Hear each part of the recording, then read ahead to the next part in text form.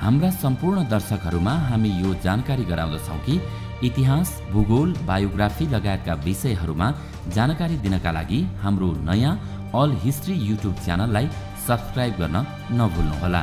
All history YouTube च्यानलको link तल डिस्क्रिप्सनमा रहेको छ।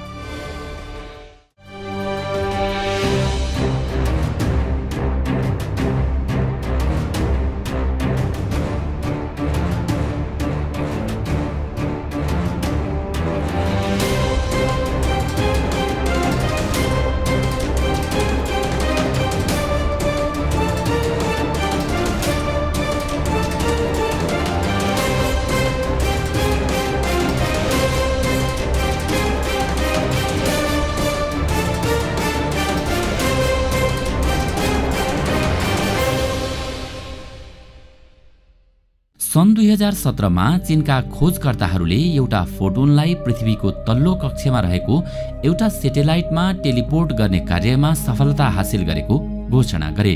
त्यति बेला यो खबर विश्वभर आगो झैँ फैलियो र सबैजना मान्न थाले कि विभिन्न हलिउड फिल्महरूमा देखाइने टेलिपोर्टेसन अब साँच्चै नै गर्न सकिन्छ तर वास्तविक रूपमा यस्तो भने थिएन। कुनै पनि वस्तुलाई उसका सम्पूर्ण भौतिक गुणहरूसहित एक ठाउँबाट डिमटेरियलाइज गरेर फेरि अर्को ठाउँमा उस्तै रूप दिनु अथवा मेटेरियलाइज गर्नुलाई नै स्थानान्तरण वा टेलिपोर्टेसन भनिन्छ। चीनले सन् दुई हजार सत्रमा हासिल गरेको सफलता भने क्वान्टम टेलिपोर्टेसन थियो जसको धारणा क्लासिकल टेलिपोर्टेसन भन्दा धेरै फरक हुन्छ। यसमा कुनै पनि वस्तुलाई भौतिक रूपले एक ठाउँबाट अर्को ठाउँमा ट्रान्सफर गर्नुको सट्टा आवश्यक जानकारी अर्थात् क्वान्टम इन्फर्मेसनलाई एक ठाउँबाट अर्को ठाउँमा टेलिपोर्ट गर्ने गरिन्छ। अर्थात् क्वान्टम इन्फर्मेसनलाई कुनै पनि माध्यमको प्रयोग नगरी एक ठाउँबाट अर्को ठाउँमा पठाइन्छ। यस्तै चीनले पृथ्वीको एउटा मरुभूमि गोवी डेजर्टबाट एउटा फोटोनको क्वान्टम इन्फर्मेसनलाई कुनै पनि माध्यमको प्रयोग नगरी अन्तरिक्षमा रहेको एउटा सेटेलाइटमा टेलिपोर्ट गर्न सफल भएको थियो। क्वान्टम टेलिपोर्टेसनलाई यसभन्दा पहिले पनि पृथ्वीमा धेरै पटक सफलतापूर्वक परीक्षण गरिएको भए पनि पृथ्वीबाट स्पेससम्मको दूरीमा भने कुनै पनि देशले परीक्षण गरेको थिएनन्। चीनले क्वान्टम इन्फर्मेसनलाई जुन सेटेलाइटमा टेलिपोर्ट गर्यो त्यो पृथ्वीको तहबाट पाँच सय किलोमिटर उचाइमा परिक्रमा गरिरहेको थियो र यो इतिहासमै क्वान्टम टेलिपोर्टेसनलाई सबैभन्दा लामो दूरीमा सफलतापूर्वक परीक्षण गरिएको थियो। त्यसैले यस सफलताबाट चीनले विश्वमा धेरै चर्चा कमायो। क्वान्टम टेलिपोर्टेसन नाम आम सर्वसाधारणहरूलाई बुझ्न गाह्रो हुन्छ किनकि उनीहरू कुनै पनि वस्तुलाई भौतिक रूपमा ट्रान्सफर गरिन्छ भन्ने बुझ्छन् तर यो गलत बुझाइ हो। यसमा कुनै वस्तुलाई भौतिक रूपमा नभई कुनै क्वान्टम इन्फर्मेसनलाई मात्रै ट्रान्सफर गरिन्छ। भविष्यमा कम्युनिकेसन नेटवर्कलाई पूर्ण सुरक्षित अर्थात् ह्याकिङ प्रुफ बनाउन क्वान्टम टेलिपोर्टेसन एकदमै महत्त्वपूर्ण मानिएको छ।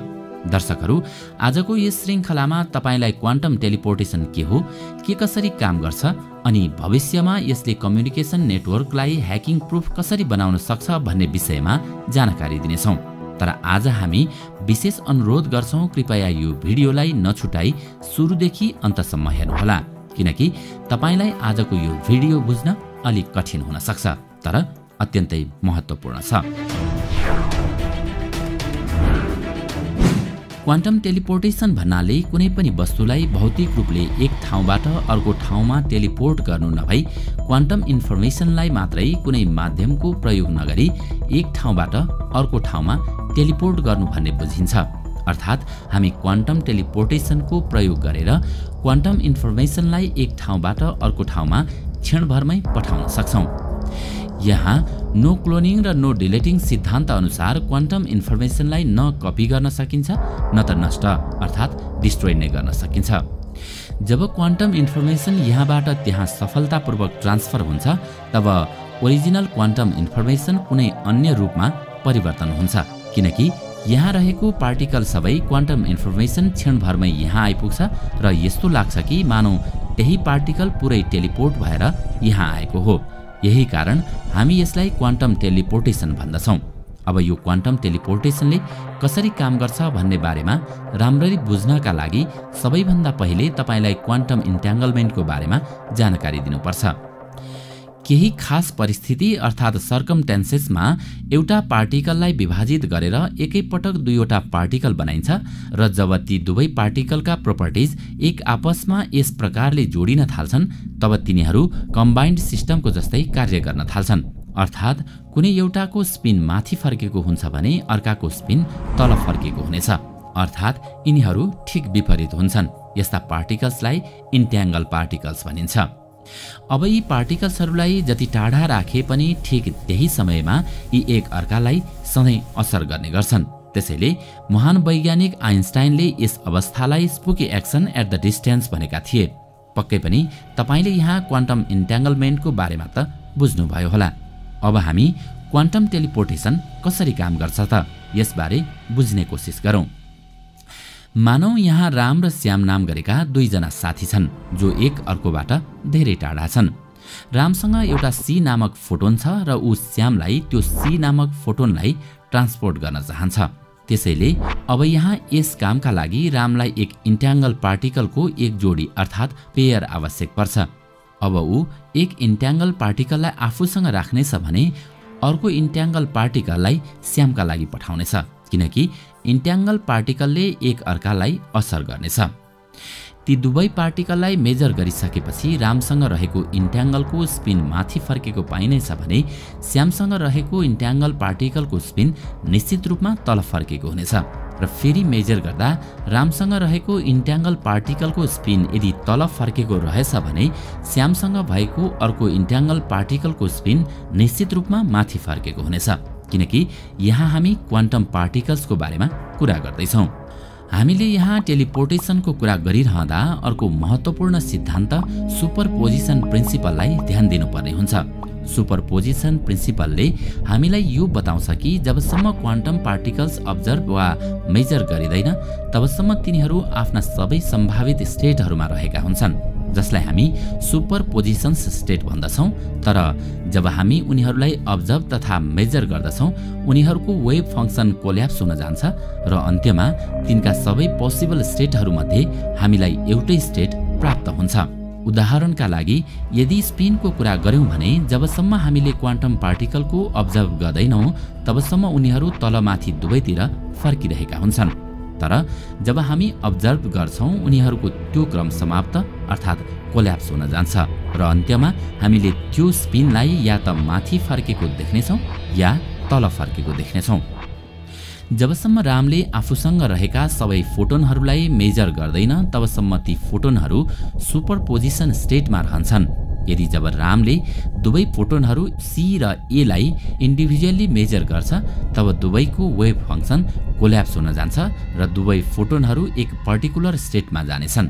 जसकारण राम फोटोन सीलाई टेलिपोर्ट गर्न पाउने छैन। त्यसैले राम यी दुवैलाई इन्डिभिजुअल्ली मेजर गर्नुको सट्टा यिनीहरू दुवैको कम्बाइन्ड स्टेटलाई मेजर गर्नेछ। यही विशेष प्रकारको मेजरमेन्टलाई बेल स्टेट मेजरमेन्ट भनिन्छ। यसको माध्यमबाट यी कुन फोटोन कुन स्टेटमा छ भन्ने पत्ता नलागे पनि यी दुवै फोटोनका स्टेटहरू बीचको सम्बन्ध के छ भन्ने कुरा अवश्य पत्ता लगाउन सक्छौँ। मेजरमेन्ट रुल अनुसार क्वान्टम पार्टिकल्स मेजर गरेपछि तिनका वेभ फङ्सन कोल्याप्स हुन जान्छ र त्यो सबै सम्भावित ठाउँहरूमध्ये कुनै एक पर्टिकुलर स्टेटमा जाने गर्दछ। यसैले जब राम आफूसँग रहेका यी दुवै फोटोनहरूको कम्बाइन्ड स्टेटको मेजर गर्नेछ तब यो फोटोन सी फोटोन एसँग इन्टरेक्ट गर्नेछ किनकि यो फोटोन एसँग पहिलेदेखि नै इन्ट्याङ्गल थियो। अब यस फोटोनले एसँग फोटोन सीको क्वान्टम स्टेट फोटोन ए को माध्यमबाट त्यति नै बेला फोटोन बीसम्म पुग्नेछ किनकि अब फोटोन बीमा फोटोन सीको सबै क्वान्टम इन्फर्मेसन पुगिसकेको छ।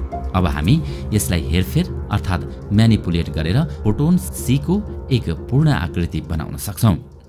तर यहाँ श्यामलाई आफूसँग रहेको फोटोनमा क्वान्टम इन्फर्मेसन आइसकेको छ भन्ने कुरा अझै थाहा छैन जो राम उसलाई पठाउन चाहन्थ्यो।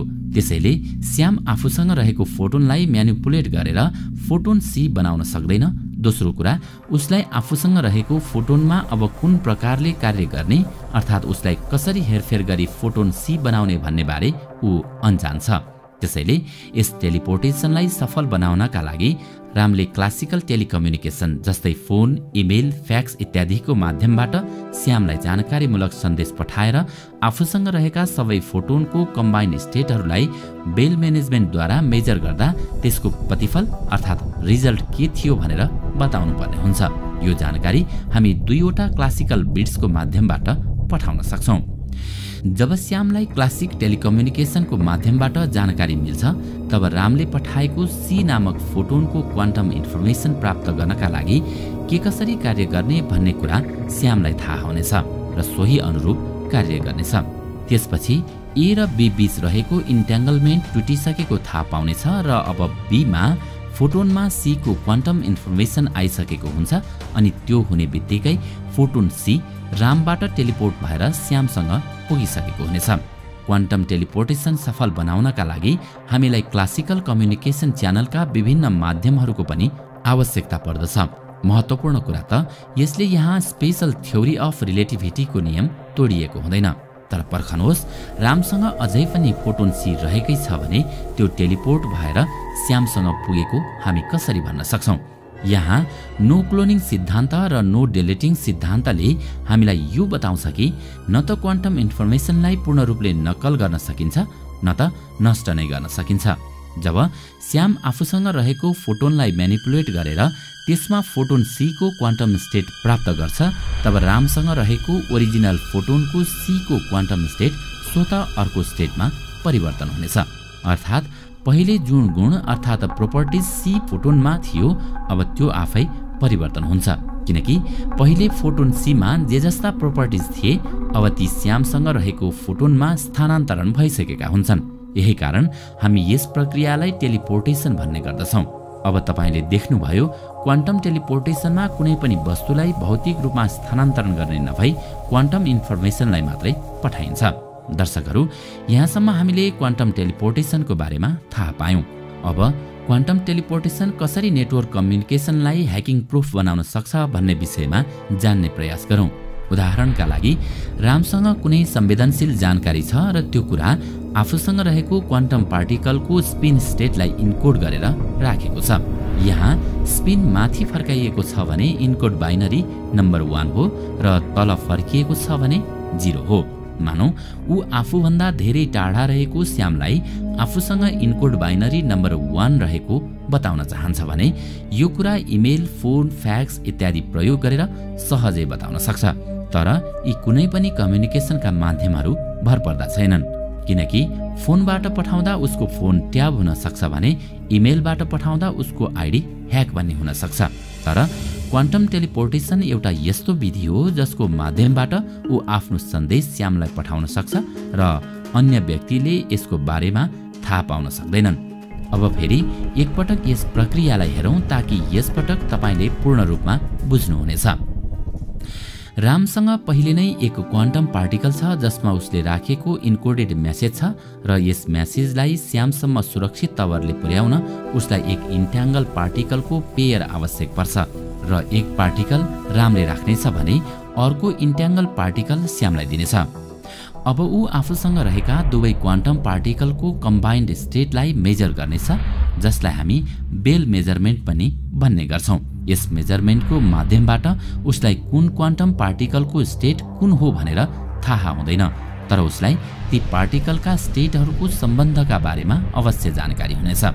उदाहरणका लागि उसलाई आफूसँग रहेका दुवै क्वान्टम पार्टिकलको स्टेट एक अर्काको उल्टो छ। अब उसले यसलाई नोट गर्नेछ। जब यहाँ रामले आफूसँग रहेका दुवै क्वान्टम पार्टिकल्सको कम्बाइन्ड स्टेटलाई मेजर गर्यो तब यस पार्टिकलले यस पार्टिकलसँग इन्टरेक्ट गर्छ। जसकारण यी दुवै क्वान्टम स्टेटको पनि इन्टरेक्सन हुन्छ किनकि यो पहिलेदेखि नै यस पार्टिकलसँग इन्ट्याङ्गल थियो। अब यस पार्टिकल्सलाई यस पार्टिकलसँग इन्ट्रेक्ट गर्नुको मतलब यो भयो कि यस पार्टिकलले यस पार्टिकलसँग पनि इन्ट्रेक्ट गर्यो जसकारण यसले क्वान्टम स्टेट यसको माध्यमबाट ट्रान्सफर हुँदै यहाँ पुग्यो। अब यस्तो हुने बित्तिकै यी दुवै पार्टिकल बिचको इन्ट्याङ्गलमेन्ट टुटिसकेको हुन्छ तर यी दुवै एक आपसमा इन्ट्याङ्गल भइरहेका हुन्छन्। यस प्रक्रियाबाट यस पार्टिकलको क्वान्टम स्टेट अब परिवर्तन भइसकेको छ।